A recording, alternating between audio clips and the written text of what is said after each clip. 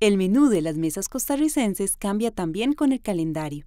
Diciembre es época del rompope, las galletas, el pan de Navidad y los infaltables tamales. Los tamales son herencias de las comunidades indígenas precolombinas y su nombre significa alimento envuelto. Se preparaban para celebrar la fiesta del sol, pero después del proceso de cristianización la tradición se conserva cada 24 de diciembre. Los rellenos y la forma de preparar los tamales han ido cambiando con el tiempo. Solo en América Latina se registran más de 500 recetas diferentes. En el caso nuestro en particular, tenemos tamales dulces y tamales salados.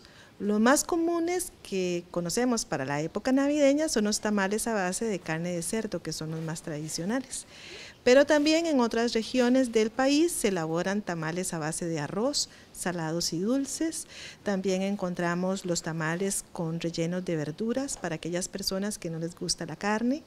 Encontramos tamales a base de pejibaye, de yuca, otros platillos que consumimos son de origen europeo, pero sus ingredientes se han fusionado con los nuestros y su preparación forma parte de esta época. Se elaboran rosquillas, tamales, eh, tanelas, que son un tamal dulce.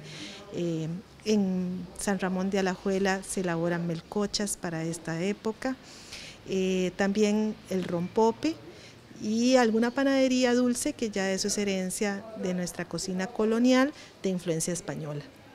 Estas tradiciones tienen un valor cultural y social para los costarricenses. La popular tamaleada, donde participa toda la familia, el tamal mudo de masa y sin relleno, o el tonto que se prepara con lo que sobra de las ollas son parte de esta tradición.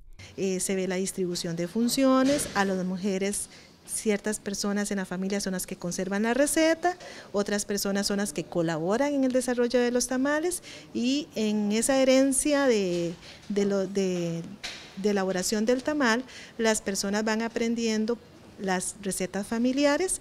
El tamal, con su diversidad de preparaciones y otros platillos que adoptamos como nuestros, rescatan cada diciembre las costumbres culinarias costarricenses. En Desde la U le deseamos una feliz Navidad y que comparta con los suyos de estas sabrosas tradiciones.